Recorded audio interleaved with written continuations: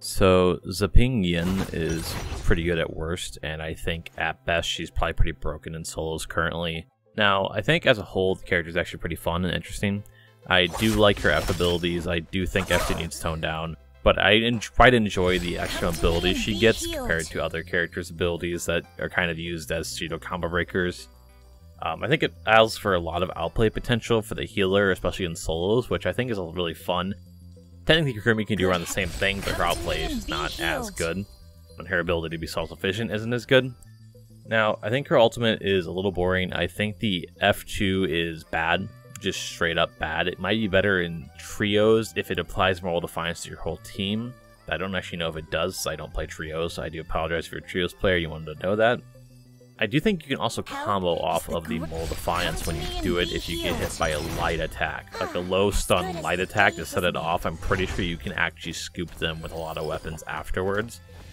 I haven't successfully done it, but I've also only played about 15 games. Of her as I have had power for like 4 days. With that being said, I do think they need to at least look at, and this is for more than just her as well, they need to look into doing like solo specific balancing because I'm sure her F2 isn't that oppressive in 3v3. But in solos, there is no way to actually chase her down or actually fight her straight up if she has F2.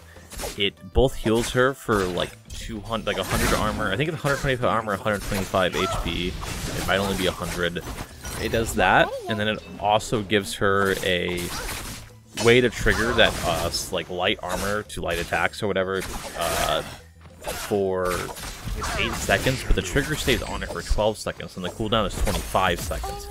Right, so technically with a little bit of CDR, if you don't interact with her, she just has it permanently, but if you interact with her, you are just at a massive disadvantage on like every character.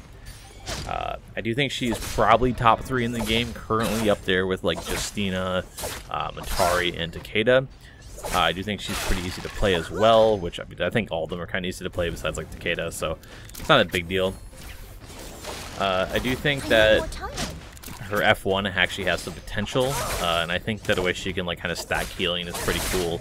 But I haven't really seen anybody use it. Everyone just kind of sticks to just pressing F over and over again. And hopefully they go about changing that a bit so that it can be a little more interesting.